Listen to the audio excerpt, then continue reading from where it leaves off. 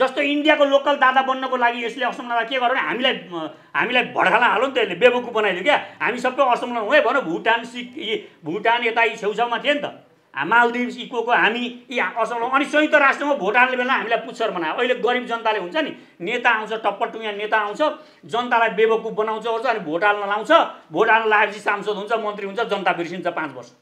त्यस्तै गरे हो यिनीहरूले। यिनीहरूले संयुक्त राष्ट्र सङ्घमा हामीलाई भोटर मात्रै बनाउन र आफू त्यो शक्तिमा रहिरहनको लागि यिनीहरूले नाटक गरे। र अर्को नाटक यिनीहरूले के गरे भने जस्तो इन्डियाको हेरौँ यो असंलग्न भन्यो आफूलाई। हेर्नुहोस् है यसको फट्याङ। अनि यसले के गर्यो भने रसा भनेपछि इन्डियाको नीति चाहिँ के हो भने इन्डिया चाहिँ नेपालका सिमानाहरू हस्तक्षेप गरिरहँ नेपालको भूमि हस्तक्षेप गरिरहँ नेपालका नदीनालाहरू हस्तक्षेप गरिरहँ तर नेपाल चाहिँ चुप लागेर बसोस् भन्ने छ। अनि हामीले विरोध गऱ्यौँ भने अन्तराष्ट्रवादी भनेर हामीलाई गाली गर्छ। राष्ट्रवाद भनेको पनि फिलोसोफी हो। यही फिलोसोफीले देश बन्ने हो। यो कुरा बुझ्न जरुरी छ। यो फिलोसोफी हाम्रो कमजोर पारिएको छ अहिले। जबरजस्ती हामीलाई उताबाट त सस्तोमा मोटरसाइकल पाइन्छ उताबाट आएको सबै सामान इन्डियाको भयो भने सस्तो हुन्छ भनेर हाम्रो राष्ट्रवादमाथि आक्रमण गरिरहेछ त्यसकारण नेपाली जनतालाई मेरो अनुरोध छ हाम्रो राष्ट्रवाद बलियो हुनुपर्छ। यो फिलोसफीले देश जोडिन्छ। यहाँ यो फिलोसफीलाई बलियो बनायौँ भने अनि अर्को एउटा कुरा मैले हामीले हाम्रो ढोकामा हेर्नुपर्ने हुन्छ। ढोका नजिकै को छ चिन र भारतसँग पहिला हाम्रो ढोकामा यी दुईवटा छन् भने यी दुईवटा के चाहन्छन् भन्ने कुरा बुझेपछि हामीले ल्याउने नीति के हो भनेर बुझ्न सजिलो हुन्छ। चिन के चाहन्छ? चिन चाहन्छ एक चिन नीतिमा नेपाल अडिग रहोस् र नेपालमा कुनै पनि मेरा विरुद्धमा कुनै पनि गतिविधि नगरोस् र त्यस्तोलाई प्रोत्साहित नगरोस् नेपालले भन्ने चिन चाहन्छ। यो चिनको सुरुदेखिको चाहना हो अहिलेदेखिको होइन यो। तर इन्डियाको चाहना के छ? अब इन्डियाको चाहना हेर्नुपर्ने हुन्छ। इन्डियाको चाहना भनेको नेपाललाई जसरी पनि नेपालका नदीनाला जडीबुटी जङ्गल जमिन जे जे छन् आफ्नो नियन्त्रणमा लिने।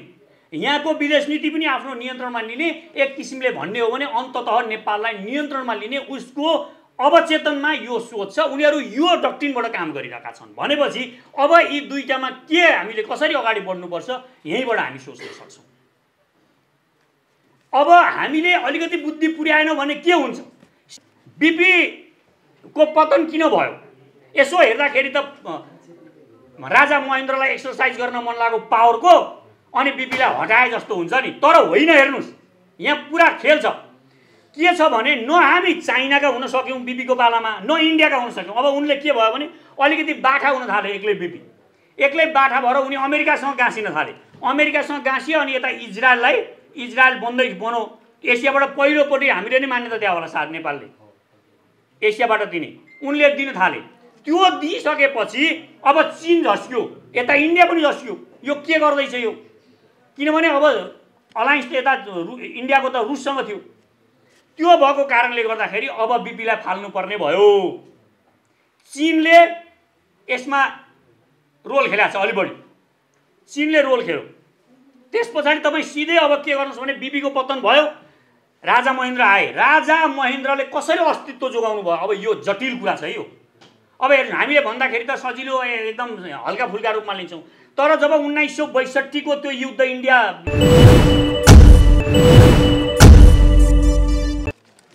आदरणीय प्रमुख अतिथि गोपीलाल नेपानेज्यू डाक्टर बाबुराम अधिकारीज्यू हेमशङ्कर गिरिज्यू पत्रकार साथीहरू सबैलाई एकमुष्ट नमस्कार गर्न चाहन्छु। वैदेशिक नीतिको कुरा हामीले जोडेका छौँ। बाबुराम सरले भन्नुभएको कुरा एकदम राम्रो पनि छ। यो दुईवटा वास्तवमा भास्ट पनि भएको छ। यो दुईवटालाई हामीले नेपाल विदेश नीति र बढ्दो वैदेशिक हस्तक्षेप भन्दाखेरि एकदमै भास्ट भएर गएको छ। यो सही कुरा पनि हो। यसलाई छुट्याएकै छुट्याएरै अगाडि बढ्दाखेरि राम्रो पनि हुन्थ्यो होला। आज हाम्रो डाक्टर सुरेन्द्र केसीज्यू पनि आउने भन्ने कुरा थियो। तर उहाँ अलिकति के भइदियो भने म चाहिँ अलिकति वरिष्ठ राम कार्कीहरू ल्याएको बेला राम कार्की प्रकाश चन्द्र लोहनी भीम रावर ल्याएको बेला मलाई बोलाउनु भन्नुभयो डाक्टर साहबले। अनि उहाँहरूलाई हामीले फोन गरी हेरेको। सुरेन्द्र केसीसँग त हामी कहाँ बोल्छौँ त फेरि भन्ने उहाँहरूको कुरा आउँछ त्यस्तो के अब उहाँहरूको कुरा चाहिँ उहाँलाई उहाँ मान लागिराखेका हुन्छ उहाँलाई हामी सानो लागिराखेका हुन्छ सुरेन्द्र केसीलाई डाक्टर सुरेन्द्र केसीलाई हामी सानो लाग्ने अनि अर्कोलाई ती राजनीतिको छेउछाउमा बस्न पाउँदा उहाँलाई पनि खुसी लाग्दो रहेछ क्या र अनि उहाँको छेउमा बस्न उहाँहरू खोज्ने अनि उहाँहरूले चाहिँ त्योसँग त म कहाँ बस्थ्यो र त्यो भन्ने उहाँहरूले। अब यो किसिमको विभाजन यो सोच राख्नुभन्दा पनि आफ्ना विचारहरू मञ्चमा गएर स्पष्टसँगले के हो भनेर राख्नु चाहिँ महत्त्वपूर्ण कुरा हो जस्तो मलाई लाग्छ। मैले अहिलेसम्म सबै साथीहरूलाई र जहाँ पनि मैले भन्ने गरेको कुरा चाहिँ के छ भने तपाईँ जुनसुकै मञ्चमा जुनसुकै चिया दोकानमै गफ गर्दै हुनुहुन्छ भने पनि तपाईँका गफ ओजनदार हुनु पऱ्यो तपाईँका कुराहरू ओजनदार हुनु पऱ्यो त्यो चिया दोकानेसँगै बसेर उसकै जस्ता कुरा गर्नुहुन्छ भने तपाईँको इज्जत भएन। नभए तपाईँलाई एउटा न एउटाले सुनेको हुनसक्छ काहीँ न काहीँ। तपाईँ चिया दोकानमै गफ गर्दै हुनुहुन्छ भने पनि एकजनाले तपाईँलाई सुनेको हुनसक्छ त्यो महत्त्वपूर्ण हुनसक्छ। र त्यो सुन्ने मान्छे महत्त्वपूर्ण हुनसक्छ तपाईँको म्यासेज संसारभरि पुर्याउन सक्छ त्यसले। भन्ने मेरो चाहिँ मान्यता छ। र यस्तो क्षुद्र सोच राख्नु पनि हुन्छ जस्तो मलाई लाग्दैन। मैले गाली गर्न खोजेको होइन। तैपनि चित्त दुखेको भन्छ नि। अब विदेशी यो पहिला हस्तक्षेपबाटै जाने हो भने पनि महाकाली सन्धि गर्ने रातो कार्पेटमा गएर महाकाली सन्धि हस्ताक्षर गरेर आउनेहरू अहिले कहाँ छन् तपाईँ हेर्नुहोस् त। ती सबै नेपालका ठुला ठुला पदमा मन्त्री प्रधानमन्त्री ती सबै एकदमै पार्टीको पनि मास्लो स्तरमा छन् ती। कोही सभामुख छन् कोही के छन् कोही पार्टीको ठुलो ठुलो पदमा छन्। तिनीहरूको अवस्था हेर्नुहोस्। अनि अस्ति तपाईँ एमसिसीमा एकदम धुवाँधारसँगले एमसिसीको समर्थन गर्ने गगन थापा हाम्रा योगेश भट्टराईहरू अनि स्वर्णिम वाग्लेहरू कहाँ छन्? उहाँहरू पनि एकदमै कि सांसद हुनुहुन्छ कि पदमा राम्रोसँगले बसिराख्नु भएको छ। भन्नुको मतलब मैले के भन्न खोजेको हो भने जो राष्ट्रको विरुद्धमा छ तिनीहरूले राष्ट्रको विरुद्धमा आवाज उठाउनेहरू राष्ट्रको विरुद्धमा बोल्नेहरू तिनीहरू जहिले पनि उच्च पदमा किन भइरहेका छन्? यो म नेपाली जनताहरूलाई पनि सोध्न चाहन्छु। तिनीहरूलाई तपाईँहरू किन चिताइराख्नु भएको छ? अस्ति सडकमा हामी उफ्रिने हामी कराउने एमसिसीको पनि विरोध हामीले गर्नुपर्ने लिपुले कालापानी लिम्पियाधुराको विरुद्धमा पनि हामी उफ्रिनुपर्ने कराउनु पर्ने तर जित्ने बेलामा ती जो समर्थन गरिरहेका छन् तिनीहरूले जितिरहेका छन्।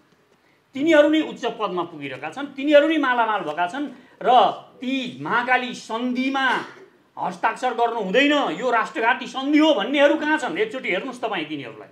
तिनीहरूलाई हेर्नुभयो भने तपाईँ मदन भण्डारीलाई लगेर खोलामा हालिएको हो कि होइन?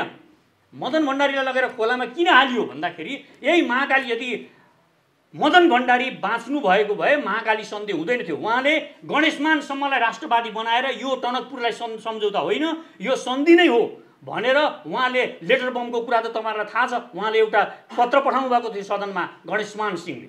गणेशमान सिंहको त्यो कुर्सीको पेज खुस्काएर मार्न खोजिएको थियो। थाहा छ कि छैन तपाईँहरूलाई? त्यही त्यो काण्डले त्यो लेटर बमको कारणले। अब मनमोहन अधिकारीको हविगत के बनायो? हेलिकप्टरबाट मार्न खोजिएको थियो। उहाँको विरुद्ध उहाँले हाल्नुपर्ने भोट पार्टीमा गएर कसले हाल्यो? हाम्रो अहिलेको सभामुखले हाल्नु भएको छ। त्यसकारण जो राष्ट्रका विरुद्धमा थिए जो राष्ट्रघात कामहरू गरे तिनीहरू यो देशमा सधैँ मालामाल भएको कारणले यो देशमा एउटा मानक के बनेको छ मान्यता के बनेको छ भने जो इन्डियाको विरोध गर्छ जो विदेशी शक्तिहरूको विरोध गर्छ यहाँ उसको हस्तक्षेप हुनु हुँदैन भन्छ। त्यो निमिट्यान्न हुन्छ त्यसको राजनीति सुध्रिँदैन त्यो खतम हुन्छ भनेर त्यही मोहन चन्द्र अधिकारीलाई हेरे भइहाल्छ। उहाँ त पागल जस्तो भनिराख्नु भएको छ। अरू जति पनि छन् तिनीहरूको राजनीति सकियो। वामदेवदेखि लिएर ती सबै वामदेवले त फेरि भोट हाल्नु न्युट्रलमा बस्नु भएको थियो होला उहाँ चाहिँ। उहाँ चाहिँ दोग्ला चरित्र निभाउनु भएको थियो। त तथापि पनि ती जो समर्थन खुलेर समर्थन गरेनन् ती सबैको अभिगत यो भयो। त्यस कारणले यो देशमा तिनै मान्छेहरू जो राष्ट्रको विरुद्धमा छन् तिनीहरू मात्र एकदमै पदमा पुगेको तिनीहरू मालामाल भएको हामी इतिहास देख्छौँ। अब अर्को एउटा कुरा परराष्ट्र नीतिको कुरा गरिरहँदाखेरि विदेश नीतिको कुरा गर्दाखेरि चाहिँ पहिला हामीले हाम्रो ढोकामा हेर्नुपर्ने हुन्छ। ढोका नजिकै को छ चिन र भारत छन् पहिला हाम्रो ढोकामा यी दुईवटा छन् भने यी दुईवटा के चाहन्छन् भन्ने कुरा बुझेपछि हामीले ल्याउने नीति के हो भनेर बुझ्न सजिलो हुन्छ। चिन के चाहन्छ? चिन चाहन्छ एक चिन नीतिमा नेपाल अडिग रहोस् र नेपालमा कुनै पनि मेरा विरुद्धमा कुनै पनि गतिविधि नगरोस् र त्यस्तोलाई प्रोत्साहित नगरोस् नेपालले भन्ने चिन चाहन्छ। यो चिनको सुरुदेखिको चाहना हो अहिलेदेखिको होइन यो।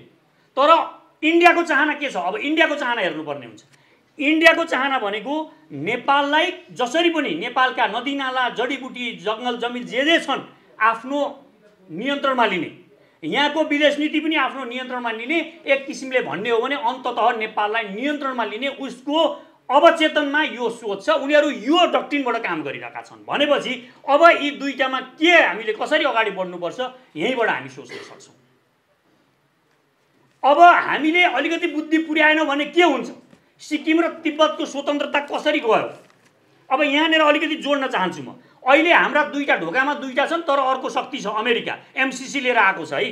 एमसिसी लिएर आएको छ यो खतरनाक रूपमा आएको छ। यो बुझ्न जरुरी छ। यो बुझेनौँ भने हामी सिक्किम र तिब्बतको हालत हाम्रो हुन्छ। सिक्किममा के भयो? सिक्किमलाई उसको स्वतन्त्रता जाँदैन थियो। यदि सिक्किमका ती पाल्देनले ती राजाले तिनकी स्वास्नी अमेरिकन थिइन् होपकुक भन्ने। ती होपकुक चाहिँ अमेरिकाको जासुस थिइन्। अमेरिकाले के गर्यो भने अब सिक्किमलाई बेस क्याम्प जस्तो बनाउने उसले इच्छा व्यक्त गर्यो। उसले त्यो योजना बनायो। त्यो योजनाले जब अमेरिकाले काम गर्न थाल्यो यो चाहिँ चिनले राम्रोसँगले थाहा पायो र यो कुरा चिनले इन्डियालाई पनि भनौँ उता उसको दलाइ लामा युज गरेर टिब्बेटमा पनि उसले यही योजना बनाइरहेको थियो चिनलाई हेर्नको लागि। टिब्बेटमा उसको बेस क्याम्प राख्ने दलाइ लामालाई प्रयोग गरिरहेको थियो। यो दुईवटा भइसकेपछि इन्डिया र चिनले सम्झौता गरेरै सिक्किम र टिब्बेट तरमा आफ्नोमा गाबु भनेर स्वत रूपमा उनीहरूले गाभेका हुन्। यी दुईजना थाहा छैन होइन सिक्किमको सिक्किमलाई इन्डियाले गाब्दाखेरि एक सुका केही पनि बोलेन। हेर्नुहोस् एक शब्द चिन बोलेन। तिब्बतको बारेमा त्यही दलाइ लामा भागेर गएर त्यहाँ शरण दिएको इन्डियाले। यो सरसल्लाहमै चिन र भारतले इन्डियाले सिक्किम र तिब्बत लिएका हुन्। किनभने त्यहाँ अमेरिका घुसेको थियो। अमेरिका घुसेको कारणले यो भएको थियो। अब नेपालमा अहिले एमसिसी हामीले घुसायौँ भने तपाईँलाई म स्पष्ट रूपमा भनिदिन्छु नेपालको राष्ट्रियता रहँदैन। यही रूपमा अगाडि बढो अमेरिकाको सेना यहाँ चलखेल गर्ने अवस्था आयो भने यो हिमाली भूभाग जति चिनले यता तराई जति इन्डियाले लिएर यो देशको स्वतन्त्र सकिन्छ त्यसै दिनदेखि सकिन्छ। अहिले बुझे हुन्छ यति कुरा बुझेनौँ हामीले भने हाम्रो हालत त्यही सिक्किम र त्यही तिब्बतको जस्तो हुन्छ र हामी शरणार्थी। आदि इन्डियाका नागरिक हुन्छौँ आदि चिनका नागरिक हुन्छ कोही केही बोल्नेवाला छैन यो दुइटा केही केही गर्न सक्दैन नि अमेरिकाले पनि। यो कुरा मध्यनजर राख्नुपर्ने हुन्छ पहिला। र यो कुरा बुझेनौँ भने चाहिँ अनि हामी के हुन्छ भने फेरि उयो डम्फु बजाउने मात्रै हुन्छ। अब अर्को मुख्य कुरा आउँछ। हामीले यो जोड्दाखेरि हाम्रो नीतिमा जाँदाखेरि चाहिँ हामीले पृथ्वीनारायण शाहलाई पृथ्वीनारायण शाहमा पुग्नुपर्ने हुन्छ हाम्रो विदेश नीतिको कुरा गरिरहँदाखेरि। अब पृथ्वीनारायण शाहले नेपालको एकीकरणको अभियान सुरु गर्नुभयो। धेरैले के भनेका छन् भने यो युनिफिकेसन नेपालको कुरा चाहिँ यो फजुलको कुरा हो यो यसो गोर्खा राज्य विस्तार हो भनेर भनेका पनि छन् है यो। तर यो कुरालाई तपाईँ एकदमै इन्कार गर्नुहोस् यो झुटो कुरा हो।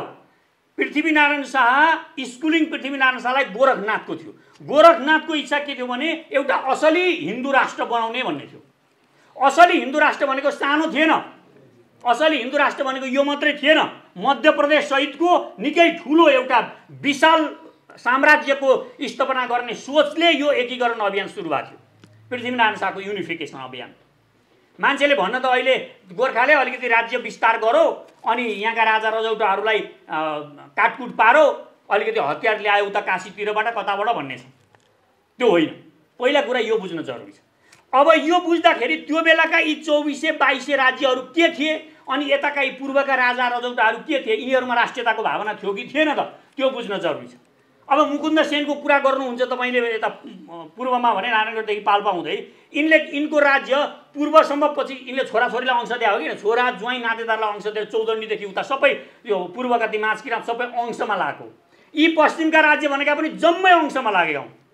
यिनीहरूको राष्ट्रियताको भावना आएर त्यहाँको पहिचानले त्यहाँको जात जाति कला संस्कृतिले गर्दा ती राज्य बनेका त थिएन अनि यहाँ यहीँ काठमाडौँकै कुरा गर्नुहुन्छ राजधानीकै कुरा गर्नुहुन्छ यी मल्ल राजाहरूले अंश लाएको होइन यहाँको भूमि। अंश लाएको। त्यो कारणले गर्दाखेरि यिनीहरूमा राष्ट्रियताको भावना केही पनि थिएन। यो राष्ट्रियताको भावना पृथ्वीनारायण शाहले पहिलोचोटि बिजारोपण गरे हो। राष्ट्रियताको भावना नआइकन यो विदेश नीतिको अरूको कुरा गर्नु फजुलका कुरा हुन्छन् फेरि। राष्ट्रियताले नै राष्ट्रिय निर्माण हुन्छ। पृथ्वीनारायण शाहको पालामा विश्वमै तपाईँ हेर्नुहुन्छ भने युनिफिकेसनको अभियान चलेको थियो। अब त्यस बेला राजा आर्मीहरू धेरै पावरमा थिए आर्मी शासकहरू थिए। र जर उता युरोपदेखि लिएर चिनमा पनि एकीकरण अभियान चलेको थियो। संसारभरि यता ब्रिटिस इन्डिया ब्रिटिस इन्डियाको इस्ट इन्डिया कम्पनीले यता इन्डिया एकीकरण गरिरहेको थियो। अनि यता यही अवस्थामा पृथ्वीनारायण शाहले राष्ट्रियताको भावना बिना त्यो हुँदैन थियो। र पृथ्वीनारायण शाहले राष्ट्रियताको भावना दिएरै एकीकरण गर्न सुरु गर्नुभएको यो महत्त्वपूर्ण कुरा छ। र हामीले जयप्रकाश मल्ललाई सम्झिनुपर्छ त्यो बेला विदेशी हस्तक्षेपको पहिलो सुरुवात नेपालमा मान्नुपर्छ त्यसलाई। जयप्रकाश मल्लले अब गोर्खा राज्यले त मलाई पनि आक्रमण गर्ने भयो भन्ने लागेपछि उहाँले इस्ट इन्डिया कम्पनीसँग सेनाको सहयोग माग्नुभयो जयप्रकाश मल्लले। र त्यो सेना कप्तान किनलकको नेतृत्वमा चौबिस सय सेना आयो हेर्नुहोस्। चौबिस सय सेना आउँदाखेरि छ नोभेम्बर यो सत्र सय सडसट्ठीको कुरा हो। त्यो बेला सिन्धुलीगढीमा ब्याटल अफ सिन्धुलीगढी पनि भन्छ त्यहाँ वार भयो। त्यहाँ हामीले लोकल हाम्रा संसाधनहरू प्रयोग गरेर चौबिस सय आका सेनामध्ये सोह्र सयलाई हामीले काटेर माऱ्यौँ त्यहाँ आठ सय लिएर बिना हतियार सबै हतियार तिनीहरूले त्यहीँ छोडेर लिएर भागे। आठ सय सेना मात्रै भागे हतियार पनि हामीले नि ल्याउँ त्यहाँ हेर्नुहोस्। त्यो पहिलो हस्तक्षेप थियो त्यो सशस्त्र हस्तक्षेप थियो त्यो हस्तक्षेप किन थियो? भन्दाखेरि त्यो चाहिँ व्यापारिक रुट हो यो सिन्धुलीको। तिब्बत जाने चितवनदेखि म मुकुन्द सेनको यतापट्टि मुकुन्द सेन हुँदै त्यहाँ पुरा त्यो तिब्बत जाने त्यो रुट थियो। त्यो रुटमा ब्रिटिस पनि कब्जा गर्न चाहन्थ्यो। इस्ट इन्डिया कम्पनी पनि कब्जा गर्न चाहन्थ्यो र त्यसको लागि जयप्रकाश मल्ललाई यहाँ जयप्रकाश मल्लको काठमाडौँमा यहाँ सेना राख्न चाहन्थ्यो। त्यो सबै नियन्त्रण गर्नलाई। त्यो सिन्धुलीसम्म यो जयप्रकाश मल्लकै थियो।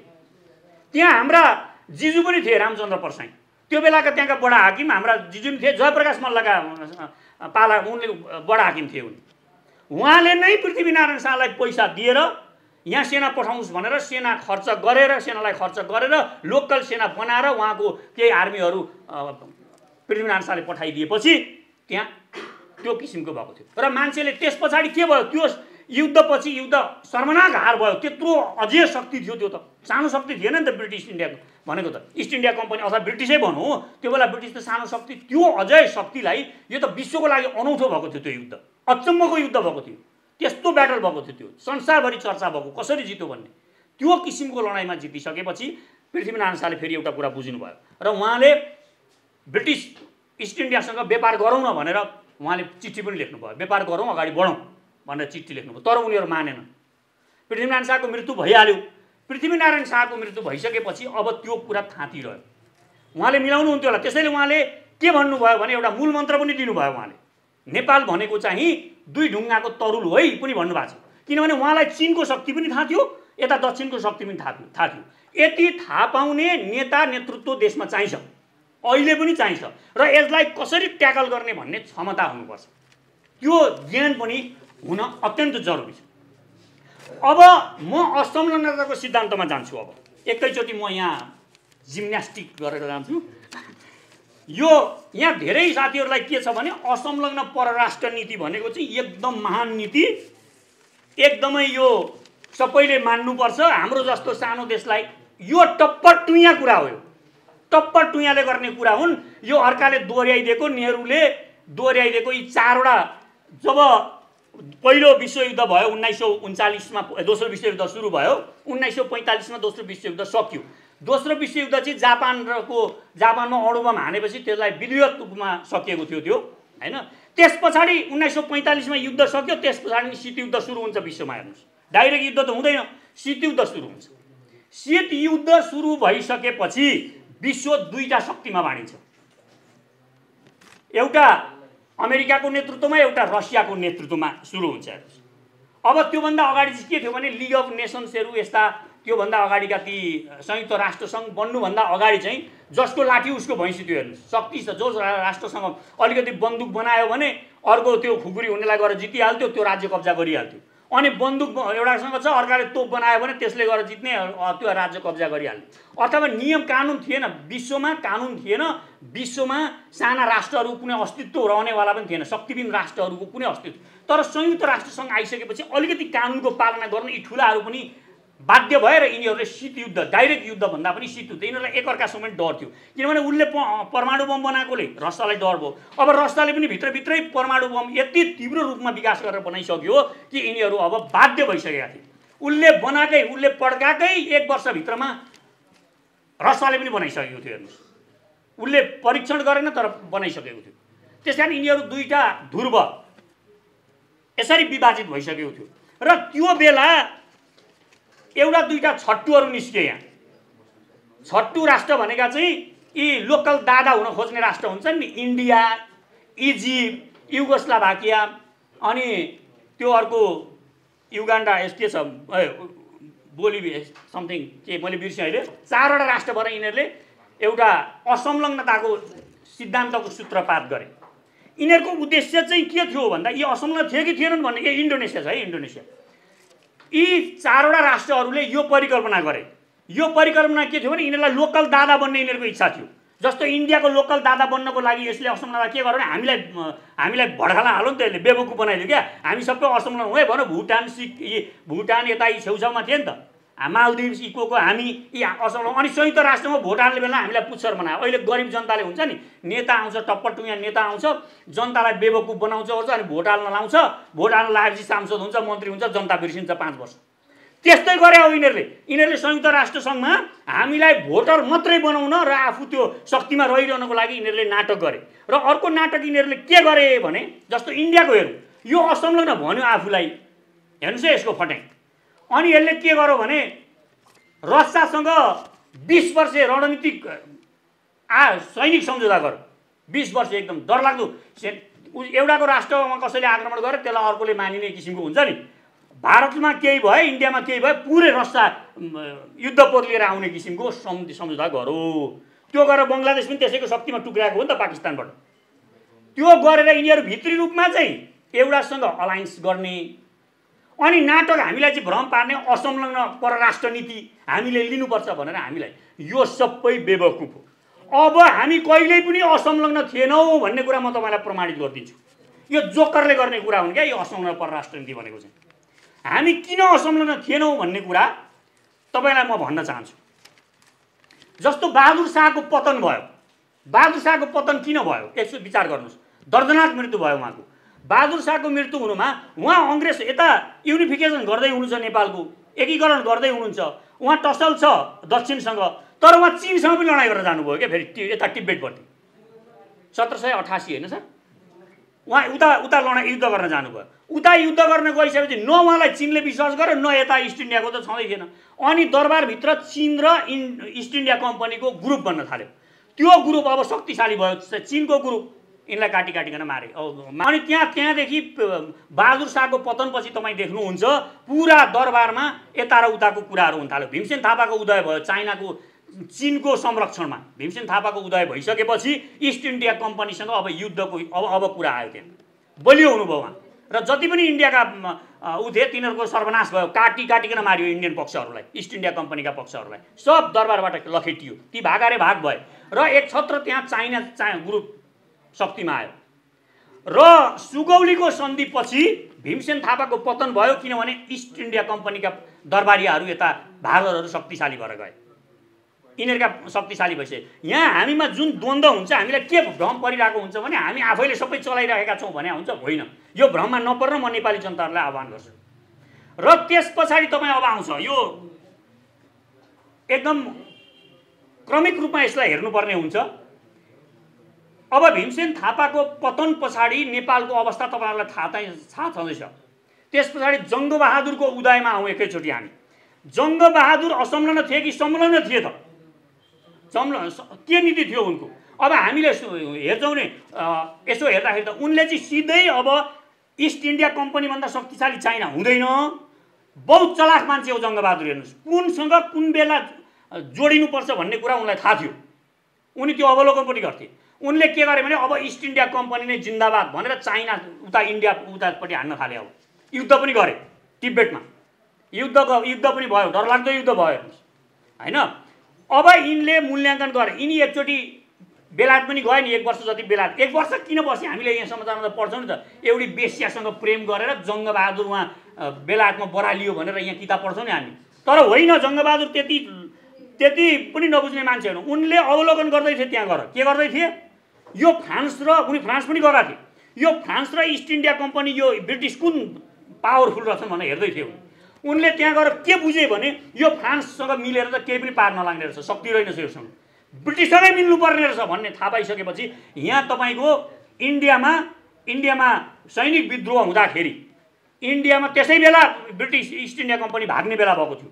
त्यही बेला भाग्ने बेलामा यिनले यहाँबाट सेना पठाएर सारा त्यहाँको त्यो गृहयुद्ध दबाइदिए र उनी एकदमै जोडी। मैले भन्नुको मतलब के हो भने असंलग्न राष्ट्र होइन हामीले संलग्नताको सिद्धान्त लिनुपर्छ भनेको मैले। त्यही कारण सचेत नेपाली पार्टीले चाहिँ संलग्नताको सिद्धान्तको व्याख्या गर्छ। अब तपाईँ आउनुहोस् अब एकैचोटि। त्यहाँदेखि चन्द्र शमशेर यी सबै इस्ट इन्डिया कम्पनीसँगै हुँदै गयो। अलिकति लोकतान्त्रिक हुन खोज्ने देव शमशेरहरूको पतन भयो। अब हामी एकैचोटि सिधै आउँ प्रजातन्त्र कालमा आउँ। प्रजातन्त्रमा एउटा कुरा बुझ्नुहोस् तपाईँ सात सालमा। सात सालमा जब प्रजातन्त्र आयो प्रजातन्त्र आइसकेपछि हामी संलग्न थियौँ कि असंलग्न थियौँ? त्यो बेला हेर्नुहोस् त्यहाँ त्यहाँ त्रिभुवनले दूरदर्शिता अप्नाएको छ एउटा कुरा। त्रिभुवनले अब त्यो बेला सात सालमा को आयो त भन्दाखेरि इन्डियामा नेहरू थिए इन्डियामा त वल्लभ भाइ पटेल गान्धी यिनीहरू एकदम पावरफुल लिडरहरूको छत्र छायामा यता मातृका बिपी यी युवा केटाहरू थिए क्या? यता सुवर्ण शमशेर अलिकति मचोड थिए होइन? अब यस्ता मान्छेहरू थिए। अब यी मान्छे त उताबाट पुरै इन्फ्लुएन्स थिए। यिनीहरूलाई त केही भनौँ भने यहाँ त कुनै पनि बेला राजा हटाइदिन सक्थे। देशै कोल्याप्स हुन्थ्यो एउटा सम उ गरेर। त्यो त्यो स्थितिमा थियो। त्यो भएर त्रिभुवनले त्रिभुवनलाई केही पनि होइन यो राजाले के गरेर? यो राजा त एकदम नाचेर हिँड्नु तरुणीसँग नाचो अरे भनेर बिपिका किताबमा पनि आएको छ नि। तर त्यो होइन वास्तवमा त्यो बेला पनि उसले बुझेको। अब अहिले चाहिँ इन्डियासँगै हाम्रो गठबन्धन हुनुपर्छ संलग्नता इन्डियासँग हुनुपर्छ र यसलाई चाहिँ म राजा हुन्न मलाई राजा पनि हुनु परेको छैन। यो इन्डियो बरु नेपाल त तिमीहरूमै गाबु भनेरसम्म प्रस्ताव गरेँ भन्ने हामी बेला बेला सुन्छौँ नि। गरेको जस्तो गरे हो। त्यो इन्डियालाई झुक्याउनुको लागि नगरेको भए पनि उनले अलिकति अडान लिएको भए राजा फ्याँक्दै यो नेपाल इन्डियामा गाबिदिन्थे। त्यो एउटा अवस्था थियो। त्यस पछाडि बिस्तारै बिस्तारै हामी सत्र सालमा पुग्छौँ हेर्नुहोस् चुनावसम्म पुग्छौँ। बिपी बिपीको पतन किन भयो? यसो हेर्दाखेरि त राजा महेन्द्रलाई एक्सर्साइज गर्न मन लागेको पावरको अनि बिपीलाई हटाए जस्तो हुन्छ नि। तर होइन हेर्नुहोस् यहाँ पुरा खेल छ। के छ भने न हामी चाइनाका हुन सक्यौँ बिपीको पालामा न इन्डियाका हुन सक्यौँ। अब उनले के भयो भने अलिकति बाठा हुन थाले एक्लै बिपी। एक्लै बाठा भएर उनी अमेरिकासँग गाँसिन थाले। अमेरिकासँग गाँसियो अनि यता इजरायललाई इजरायल बन्दै बनाऊ एसियाबाट पहिलोपट्टि हामीले नै मान्यता दियो होला सार नेपालले। एसियाबाट दिने। उनले दिन थाले। त्यो दिइसकेपछि अब चिन झस्क्यो। यता इन्डिया पनि झस्क्यो। यो के गर्दैछ यो? किनभने अब अलायन्स त यता इन्डियाको त रुससँग थियो। त्यो भएको कारणले गर्दाखेरि अब बिपीलाई फाल्नुपर्ने भयो। चिनले यसमा रोल खेलाएको छ अलि बढी चिनले रोल खेल्यो। त्यस पछाडि तपाईँ सिधै अब के गर्नुहोस् भने बिपीको पतन भयो। राजा महेन्द्र आए। राजा महेन्द्रले कसरी अस्तित्व जोगाउनु भयो? अब यो जटिल कुरा छ यो। अब हामीले भन्दाखेरि त सजिलो एकदम हल्का फुल्का रूपमा लिन्छौँ। तर जब उन्नाइस सौ बैसठीको त्यो युद्ध इन्डिया चाइनाको युद्ध भयो हो त्यो युद्धलाई पनि एकचोटि तपाईँ हेर्नुहोस्। त्यो युद्धमा त यहाँ गुवाहाटीसम्म तेजपुरसम्म आएको थियो नि त चाइनाको चाइनाको सेना त। उसले त यो यो इस्टर्न नर्थ इस्ट सबै लिने टार्गेटले हिँड्या हो। चाइना त्यो बेला। र नेपाल पनि कब्जा गर्ने उसको नीति थियो किनभने यति इन्फ्लुएन्स भएको थियो इन्डियाको नेपालमा खपि नसक्नु र त्यहाँ अमेरिका पनि आउँदै थियो। यो थाहा पाइसकेपछि माउसेजुङले अब लिने हो यो सबै टार्गेटले उनले हिँडेको थियो त्यो बेला महेन्द्रले घुँडा टेकेका हुन्। यताको समानता छोडेका हुन् इन्डियाको। उनले माउसेतुङसँग म कम्युनिस्ट हुनु परे पनि बरु हुन्छु। जे हुनु पऱ्यो पनि हुन्छु म मान्छु यो देशलाई कम्युनिस्ट घोषणा गर्नु पऱ्यो पनि भन्छु तर नेपाल अस्तित्व जोगाइदिनु पऱ्यो भनेर घुँडा टेकेपछि त्यो टेक्नु बाध्यता थियो उनको। नेपाल जोगाउनलाई टेकेको उनले घुँडा टेके पनि। त्यो टेकेपछि मात्रै नेपालको अस्तित्व जोग्यायो नभए त्यही बेला नेपालको हावा खाइसक्थ्यो नेपालको अस्तित्व। त्यही बेला निमिट्यान्न भइसक्थ्यो। किनभने यति धेरै उग्र रूपमा चिन विरोधी गतिविधिहरू त्यो बेला भएको थियो। इन्डियाले त्यसरी नै एग्रेसिभली पेलिराखेको थियो। यो अवस्था थियो। र यसरी उनले बचाउँदै गए। यो यो अवस्था आएर यसरी नेपाल अस्तित्व त्यो भनेको समानता हो कि होइन? हामीले चिनको समानता लिएपछि हामीले हाम्रो अस्तित्व जोगायौँ। यो कुरा बुझ्नुहोस् पहिला। अब त्यसपछि तपाईँ एकैचोटि वीरेन्द्रमा आउनुहोस्। वीरेन्द्र राजामा आउँदाखेरि तपाईँ हेर्नुहोस् वीरेन्द्रले पनि असमानताको सिद्धान्त बडो चाहिँ बाठो हुन खोजिराख्नु भएको थियो। उहाँ। बाठो हुँदै हुँदै उहाँले इन्डियासँग पनि ठिक्क पार्ने घरि सूर्यबहादुरलाई प्रधानमन्त्री बनाउने घरि कृतिनिधि विष्टलाई बनाउने घरि कसलाई बनाउने यसो गर्दा यो बाटो हुन खोजिराख्नु भएको थियो र उहाँले बाटो हुँदा हुँदै अमेरिकासँग पनि अलिक सम्बन्ध गाडा गर्नु पऱ्यो भनेर त्यहाँ सदनमा गएर बोल्नेदेखि लिएर के के गर्न थाल्नु यता खम्पा विद्रोह लगाइरहेको थियो अमेरिकाले। इन्डिया र अमेरिकाले मिलेर खम्पाहरूलाई ठुलो लगानी गरिसकेको थियो यतापट्टि तिब्बत हान्नको लागि। अब यो कुरा चिनले सहिएन सहने कुरा त थिएन। चिनले अब यदि तिमीहरूको यही खेल फड्को हो अब अमेरिकन सेना आउने त्यो बेला आइपुगिसकेको थियो अमेरिकन सेना पनि थिए त्यहाँ भन्ने। उनीहरूले आएर तालिम दिन्थे ती खम्पाहरूलाई। इन्डियन सेनाहरूले रसद पानी पुर्याउँथ्यो। त्यो अवस्थामा थियो। र यिनीहरूलाई त्यो वीरेन्द्रले अब चिनले बडो स्पष्ट रूपमा भन्थ्यो मेरो सेना ल्याउनु पर्ने हो कि तिमी नियन्त्रण गर्छौ भनिसकेपछि अनि वीरेन्द्र राजाले त्यो बेला खम्पाहरूमाथि आक्रमण गर्न लगाउनु भयो। नेपाली सेनाले गर्यो। र त्यो विजय पनि भयो। त्यो नेपालको अस्तित्व जाने बेलामा भएको थियो त्यो। र त्यही खम्पा विद्रोहीमाथि त्यो ठुलो लगानी जुन अमेरिका र उसको इन्डियाको परेको थियो त्यो राजा वीरेन्द्रले सिद्ध्याइदिएको कारणले राजा वीरेन्द्रको दरबार हत्याकाण्डमा परिवारै सखाप पारिएको हो। यहाँ अरू धेरै कुरा जे जे गरे पनि त्यो प्रमुख कारण छ। किनभने यिनीहरूले शत्रुलाई तत्कालै हामीलाई के लाग्छ भने इन्डिया र यिनीहरूका गुप्तचरले शत्रुलाई आजको भोलि फ्याक्ट हामीलाई रिस उठ्यो यहाँ अहिले पक्का हानिहाल्ने यो हुँदैन उनीहरूको। उनीहरूले पर्खिन्छ। उनीहरूले दिने पनि ढिलो हुन्छ। जस्तो अहिले महाकाली सन्धि गर्ने बेलामा बडो चाहिँ नि भूमिका खेल्ने हाम्रो सभामुखलाई अहिले दिएको छ नि त सभामुख पद। पुरस्कार पनि अलिक ढिलो भए पनि दिन्छन् र सजाय पनि दिन्छन् यिनीहरूले त्यहाँ आइन्दा अरू तेरो पुस्ताले तेरो उसले यस्तो नगरोस् भनेर। यो अवस्था हुन्छ। अब हामी सडचालिस सालको त्यो आन्दोलन के को लागि थियो त छयालिस सालको? भनेको त्यो पनि अब इन्डियाको जहाँ इन्डिया त अब निकै शक्तिशाली भइसकेको अवस्था थियो अरे। त्यो बेला अब पहिलाको जस्तो उन्नाइस सय बैसठीको जस्तो इन्डिया थिएन। इन्डियाले अलिकति प्रगति गरेको थियो। चिनले त आफ्नो भित्र रूपमा धेरै प्रगति गरिसकेको थियो। इन्डियाले पनि त्यो गरिसकेकोले अब वीरेन्द्रले यो कुरा बुझ्नु भएको थियो कि त्यही भएर उहाँले त्यो आन्दोलनलाई स्वीकार गर्नुभएको। यदि त्यो आन्दोलन स्वीकार नगरे भए त्यसै बेला राजा जान्थ्यो। राजतन्त्र त्यसै बेला जान्थ्यो। किनभने अब त्यो बेलाका शक्ति भनेका सबै इन्डियाबाट प्रभावित थिए। उनले इन्डियाले पुरा फुल समर्थन दिएको थियो। र त्यो बेला नेपाल बस्नुमा राजतन्त्र नजानुमा मदन भण्डारी जस्ता मान्छेहरू पनि उदय भएको थियो। र गणेशमान जस्ता राष्ट्रवादीहरू पनि त्यो बेला भएको कारणले हो नभए सबै उताको इन्फ्लुएन्स र त्यो बेला हामी अब इन्डियाको संलग्नता हुँदै थाल्यौँ है त्यो बेला चाहिँ अब। अब इन्डियन संलग्नता बढो हेर्नुहोस्। यसरी हेर्ने हो भने र अहिले अब म आजमा आउँछु। यसरी हेर्ने हो भने मैले भन्न खोजेको के हो भने यो असंलग्नताको सिद्धान्त भनेका फजुल कुरा हुन् र असंलग्न सिद्धान्त अप्नाउने संसारको कुनै पनि देश विकसित भएको छैन सबल भएको छैन शक्तिशाली भएको छैन। तपाईँ जुनसुकै कन्ट्री हेर्नुहोस् कुनै पनि छैन। अब नेपालको अब अहिलेको नीति हेर्नुहोस् अब। अहिले हामी के भन्छौँ भने अहिले पनि हामी त्यही रोटान गरिरहेका छौँ असंलग्न परराष्ट्र नीति भनेर अहिले पनि त्यो गीत गाइरहेछौँ। त्यत्रो पुरानो गीत यति अभाव सिद्ध भइसक्यो हामी सधैँ संलग्नताको सिद्धान्त अप्नाइरहेको देश हो यो। र हामीहरू अस्तित्व बचाउनको लागि जुन बेला संलग्नताको सिद्धान्त अप्नायौँ त्यो बेला मात्र हामीलाई फाइदा भएको छ। नभए हाम्रो अस्तित्व जाने अवस्थामा रहेको छ। अब अहिलेको हेर्नुहुन्छ भने अहिले संसारमा असमताको सिद्धान्त भनेको छ अनि इन्डिया अहिले विश्व दुई ध्रुवमा विभाजित भइसक्यो। पूर्व र पश्चिमको लडाइँको जस्तो अवस्था छ।